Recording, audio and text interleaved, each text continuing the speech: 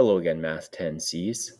In today's lesson, we're going to use our knowledge gained from the previous lessons in the unit, which was all about solving a system of linear equations, which we started the unit off by doing it graphically. Then we looked at two different methods. We could do this algebraically, one method called substitution, one method called elimination uh, to solve the system of equations.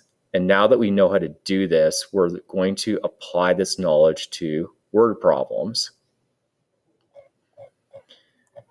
As you can see here, uh, we have a little bit of a rough flow chart that explains how to solve a word problem.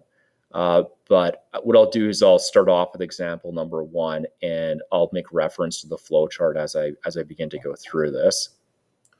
Now, the big difference between uh, solving a system of equations in one of the previous lessons to solving it in a word problem is that you don't have the equations.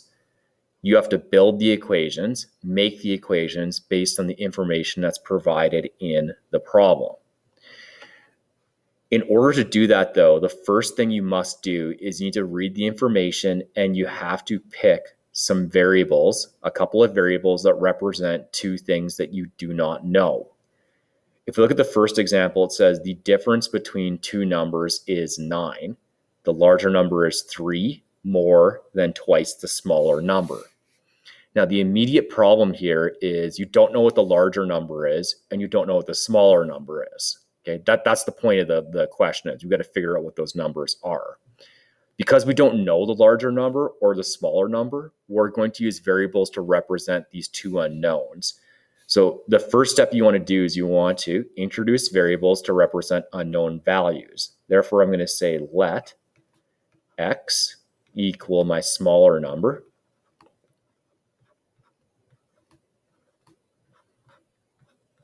And y is equal to my larger number.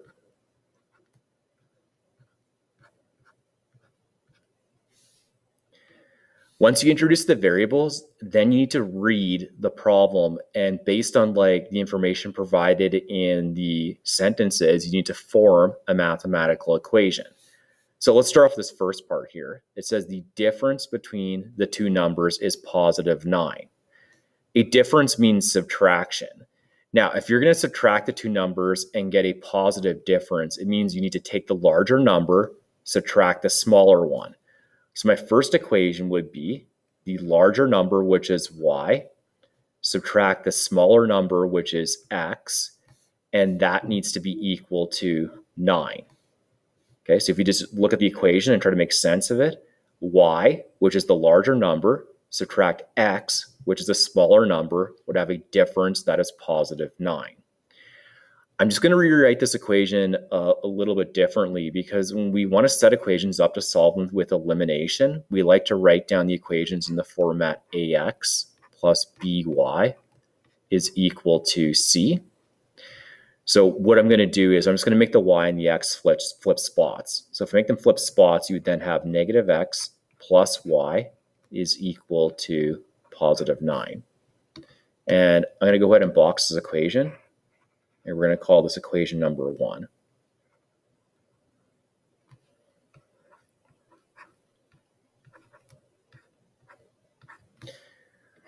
Now we need to read the second sentence and we need to form another equation. Okay, you need two equations here. If you have two variables you're solving for, you need two equations to be able to solve that.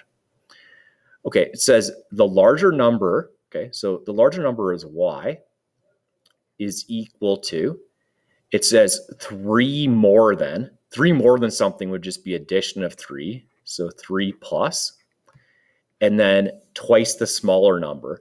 Twice the smaller number would be two multiplied by x. So what this sentence says is the larger number y is equal to three more, three plus, two times a smaller number, which is x. So if I write that out, it would be y is equal to 3 plus 2 times x. And let's get it in the format ax plus by is equal to c. So what I'll do is I'll make the y and the 3 switch spots. So if uh, we go ahead and do that, subtract 3 from both sides, subtract y from both sides, and then you'd be left with, okay, I'll, I'll write the right-hand side first. So you, on the right-hand side, you would then have 2x minus y would be equal to negative 3. I'm going to box this equation, and I'm going to call it equation number 2. Now that you've built your two equations, we solve the problem just like we would have done in one of the, the previous lessons algebraically. I'm going to use elimination. So I'm going to stack these two equations on top of each other. So we'll write down the first equation, which is negative x plus y is equal to positive 9. And then the second equation, which is 2x minus y, is equal to negative 3. This is actually a really easy uh, system to solve because we don't have to multiply the top or the, the, the top equation or the bottom equation by any number to eliminate a variable. We can eliminate the variable y if we just add the two, the two equations together. So if I add them together, negative x and 2x would give you positive 1x or x. Positive y and negative y would give you 0. And then 9 plus negative 3 would just be 9 subtract 3, which is going to be 6. Therefore, you'd have x is equal to 6. Okay, that's your smaller number. Now, to get the larger number y, all I need to do is take this value of x and plug it into one of my two equations. Uh, I'd always plug it into the equation that's a little bit easier to manipulate for your variable y. Uh, I think that the first equation is a little bit easier to deal with. So what I'm going to do is I'm going to say sub x equals 6 into equation 1 to get y. Okay, so equation 1 is negative x plus y is equal to 9. And I'm going to do the following substitution. I'm going to replace x with 6. So if I do that, it would be negative 6 plus y is equal to 9. And then to get y by itself, all I need to do is add 6 to both sides of the equation. So add 6 and then add 6. And then you have y would be equal to 15, which is the larger number. So, so again, the big the big difference is where uh, uh, you have to build the two equations. Once you make the two equations, then it's just like solving a system of equations uh, as we did in the previous lessons. Okay, let's go to another example. So that was like uh, one dealing with unknown numbers. This one's more of a geometry problem. All right, so it says the perimeter of a rectangle is 40 meters. Uh, the width is four meters less than the length. Find the dimensions of the rectangle. So again, the first thing you should immediately do is identify what's the information you do not know. Okay, I don't know what the width is, and I don't know what the length is. So those are going to be my two variables I'm going to introduce. So we're going to say let, I'll say let W equal the width and let L equal the length. You can choose whatever variables you want as long as you just you, you keep them within the problem and just stay consistent. I could pick X and Y for length and width or uh, but I, like to just do W and L just to just because there's abbreviations of the actual words. Okay, let's deal with this first part of the, the sentence first. It says the perimeter is 40 meters. Now, if you draw a rectangle, okay, so the rectangle would have a length here, a length there, it'd have a width here, it'd have a width there. So if I'm writing down the perimeter, so the perimeter would be equal to 2 times the length plus 2 times the width. Now, I already know what the perimeter is, though, so I don't need to leave uh, the perimeter as an unknown variable because it flat out tells me in the question it's 40 meters. Therefore, I can write down 2 times the length plus 2 times the width would be equal to 40. That's my first equation. So I'm going to box that, and we're going to call it equation number 1.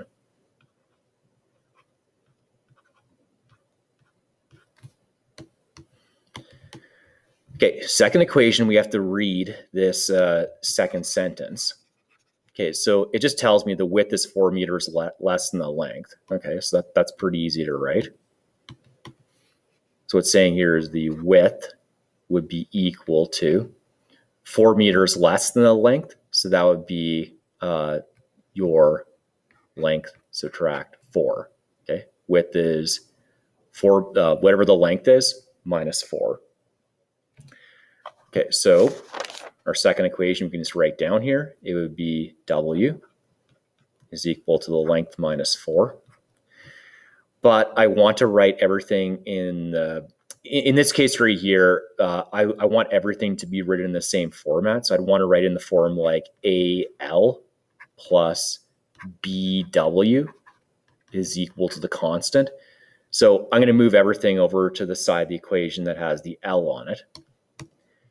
So to do that, we're just going to make the W in the uh, negative 4 switch spot. So we're going to add negative 4, add negative 4, minus W, minus W, and then I would get uh, the length minus the width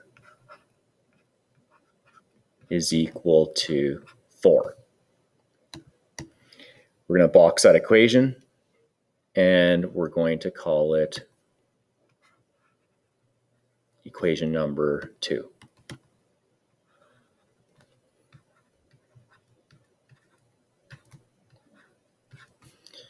Let's stack the two equations.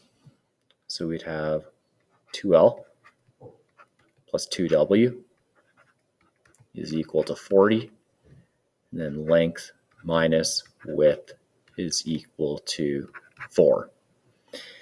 Now, this time around, I, I can't just add or subtract the two equations to eliminate a variable, but I can just multiply one of the equations by something so I can eliminate a, a variable.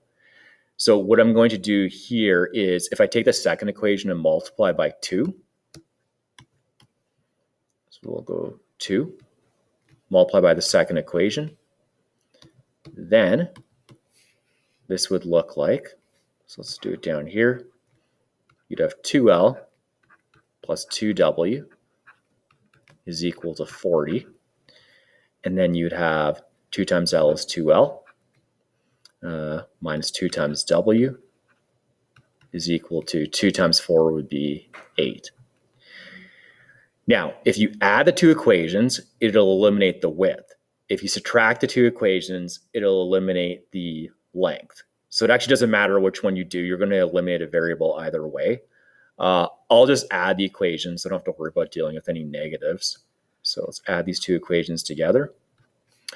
Uh, adding is a bit easier because if you subtract, you have to worry about subtracting a negative. So if I add these two together, it'd be 2L and 2L would be 4L. 2W and negative 2W would be plus 0. And then 40 plus 8 would be 48. Okay, so now I'd have 4L is equal to 48.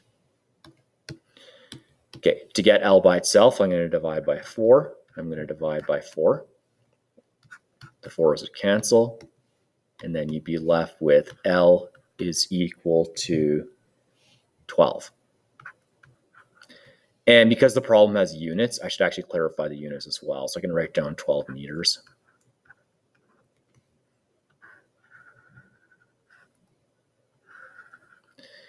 Now we need the width as well. So once you get the length, you can just plug it back into one of the two equations to figure out what the width is. Uh, probably a little bit easier to figure out the width in equation two because it doesn't have a numerical coefficient in front of it. Well, I guess it does. It has a negative one in front of it. We'll just sub it into equation two. So we'll sub L equals 12 into equation number two to get W. Okay, so if we go ahead and do that, my equation is L minus W is equal to 4. And we're going to replace L with 12. So then I'd have 12 minus W is equal to 4. Let's get the W by itself. So to do that, we're going to subtract 12 from both sides of the equation. So minus 12 minus 12. And then you would have W is equal to 4 uh, negative W. Okay, I got that negative there, is equal to 4 minus 12, which is negative 8. If you want to get rid of the negative, you just have to divide both sides of the equation by negative 1. So divide negative 1, divide negative 1. That would make the negatives cancel off. And then you would have W is equal to 8 meters.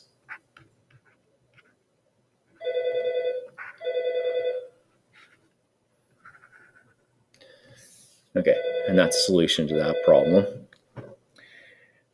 Okay, let's look at a couple more to deal with uh, some money applications. We have example three and we have example four. Uh, yeah. Okay, it says Gary has a total of $260 in $5 bills and $10 bills. If he has 33 bills in total, how many of each denomination does he have? Okay, so what it really wants you to do here is it wants it's asking you how many $5 bills and how many $10 bills do they have. Okay, so that's to be my two unknown variables. So I'm going to say let, we'll say x equal the number of $5 bills.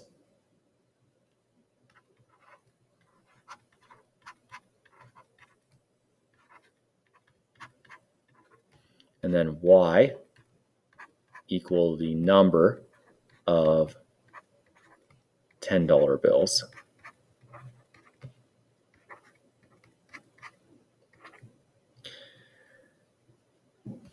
Okay, so let's form two equations to represent this. Now, let's do the second equation first because it says if they have 33 bills in total. Well, if you take the number of $5 bills and you add the number of $10 bills, that, would, that must be equal to 33 bills in total. So I think the first equation, I'm just going to name, uh, label it. I'm going to give it a name. I'm going to say this equation is the number of bills equation.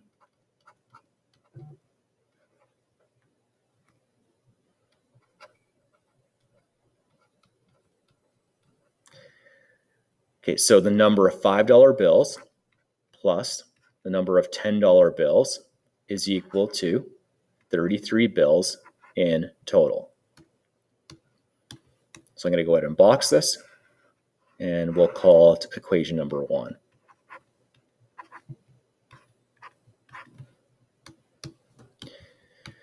The other equation I can form is based on the value of the bills. Okay, so I'm going to call it the value of the bills.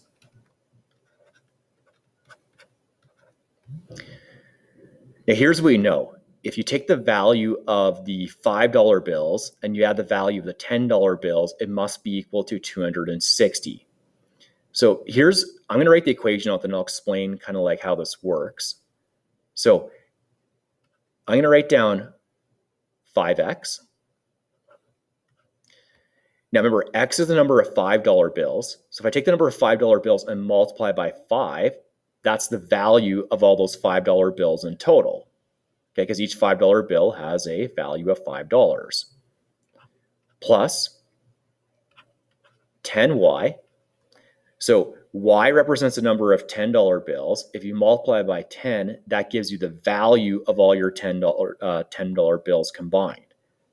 And that must be equal to 260. So again, just to kind of uh, reiterate this, 5 times x is that's the value of all your $5 bills together because the value of the $5 bills be the number of $5 bills you have multiplied by $5. 10y is the value of all your $10 bills. So that'd be the number of $10 bills you have multiplied by $10 per bill. And that total must be 260. Okay, so I'm going to box this equation.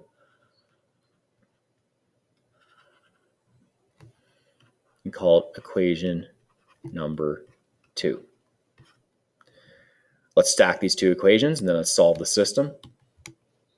So we'd have x plus y equals 33. And then we'd have 5x plus 10y is 260. The nice thing here is that uh, the, uh, the equations are already in the correct format. Now, to solve by elimination, you can do it in one step. All you need to do is multiply the top equation by uh, either 5 or multiply the top equation by 10. Okay, so let's eliminate uh, x. So I'll, I'll, multiply the top equation by 5 to do that.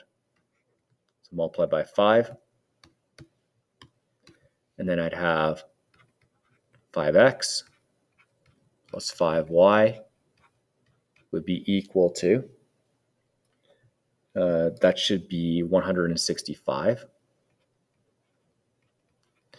And then 5x plus 10y is equal to 260.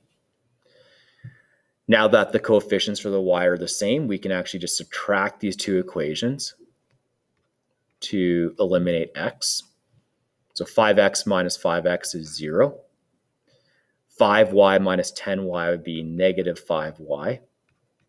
And then 165 minus uh, 260 would be negative 95.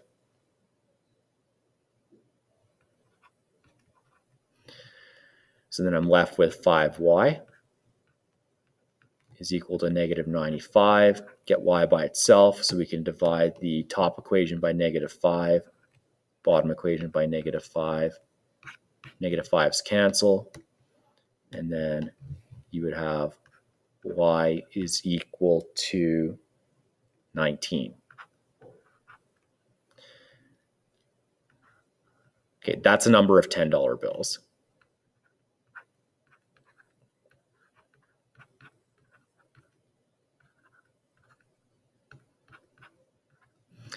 To get the value of x, we're just going to take this value of y and sub it into equation 1 because that's the easier one to deal with. So I'll say sub y equals 19 into equation 1.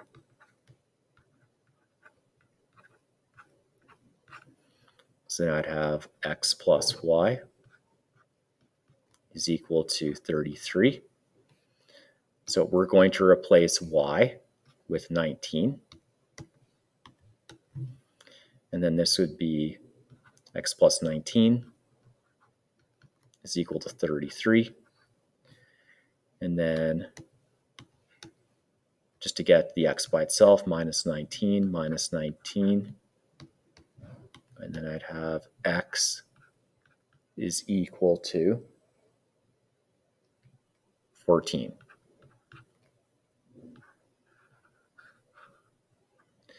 And that's number of $5 bills.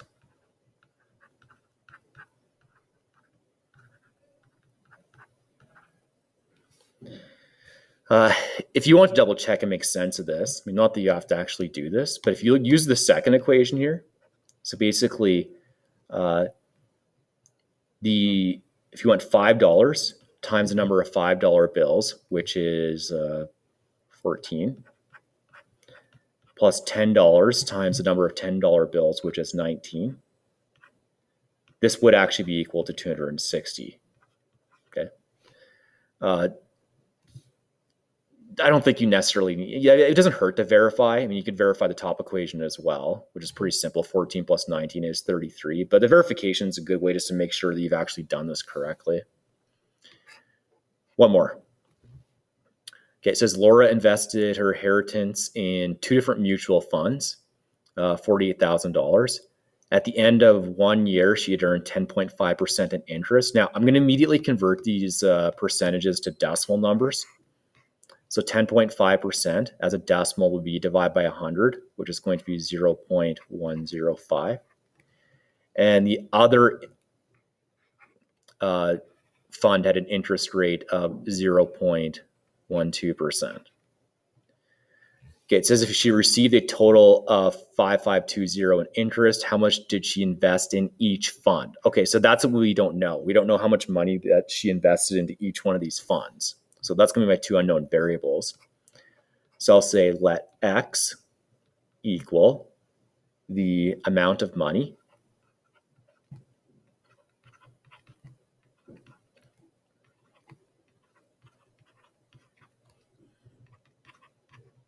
invested in fund number one.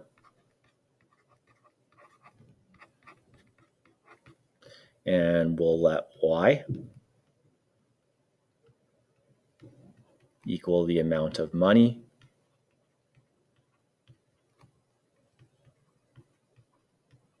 invested in fund number two.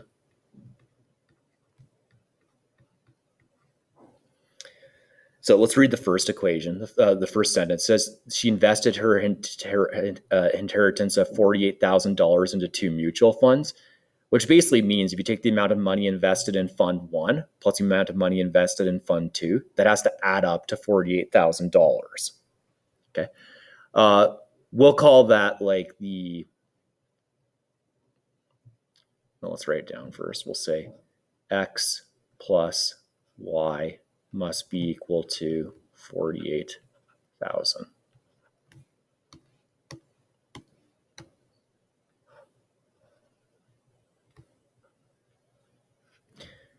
We'll call this equation the amount invested equation.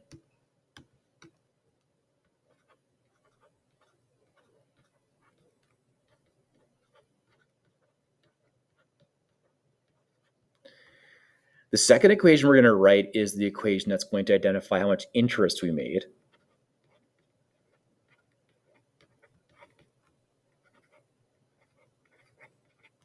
And here's how I'll write it, okay? It says at the end of one year, Fund 1 had earned 10.5% of interest. So 10.5% of interest would be 10.5% of X plus the second fund earned 12% of interest of the amount of money you put into that fund. So 12% of Y. And that would be equal to 5520. Now I'm going to turn the, this is kind of like an abbreviated sentence here. This is not my mathematical equation. So if, if, you, if you find a percentage of a number, uh, it's the same thing as like taking that percentage as a decimal and multiplying. So this equation would be 0.105 x. Okay, that's 10.5% of x, which is the amount of money put uh, invested in fund one, plus 12% of the second one, so that'd be 0.12 of y. And you add the interest made uh, for each of these funds, and this would be 5520. So that's my second equation. Go ahead and box that. Let's call this first one equation one, second one equation two. Let's stack the equations now. So the first equation would be x plus y is equal to 48,000. The second equation would be 0.105x plus 0.12y is equal to 5520. Adding and subtracting right now will not eliminate a variable, but I can easily just multiply the first equation by a decimal number to make this work. So let's say we want to eliminate x. So I'll multiply the top equation just by 0.105.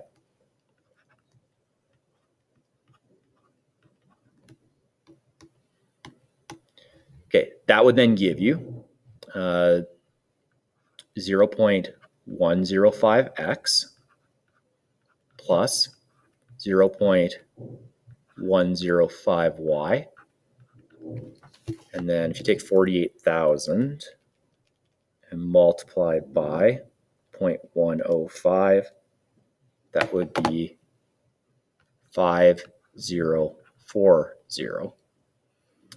Second equation, 0.105x plus 0.12y is equal to 5520.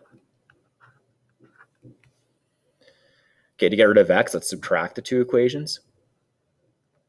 So minus, put the bracket there to remind me to subtract everything. Okay, 0.105x minus 0.105x, that's the elimination that occurs. Okay, this next one's going to be a negative number.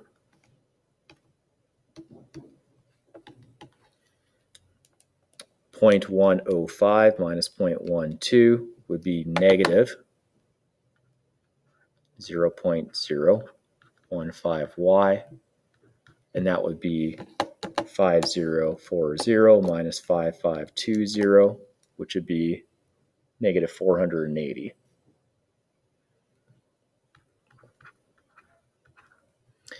To get y by itself, just divide both sides of the equation by the coefficient in front of y. So divide by negative 0.015 divide by negative 0.015, and that would be divided by negative 0.015. It's going to give you 32,000. Okay, so oh, let's do this in blue.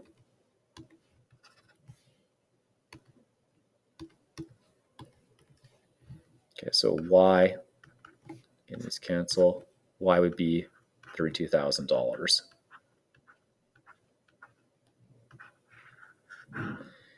To get x, pretty easy, throw it back into equation 1. So I'll say sub y equals 32,000 into equation 1 to get x. Okay, so equation 1 is x plus y equals 32,000 so we're going to replace y. Oh, sorry, x plus y is 48,000. That's what the first equation is. 48,000. And then y is 32,000, so we're going to do that substitution now. So then this would be x plus 32,000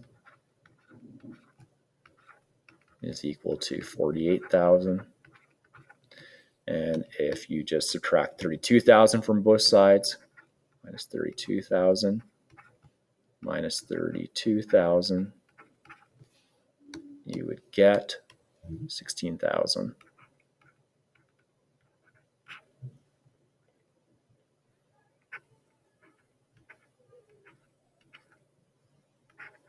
16,000 in fund number one, 16,000 in fund number two. Okay. In the next lesson, we'll uh, look at, uh, we're going to break it into a couple of different parts. There, there's some, the, the more, the word problems are more difficult. Uh, but for now, you can practice this by completing, starting on page 643 numbers one, two, six, seven, and nine, and there's no need to verify. You can verify just by quickly plugging into your calculator, but no need to show the work for it here. It's already enough work with uh, setting the word problem up. And I'll talk to you in the next lesson.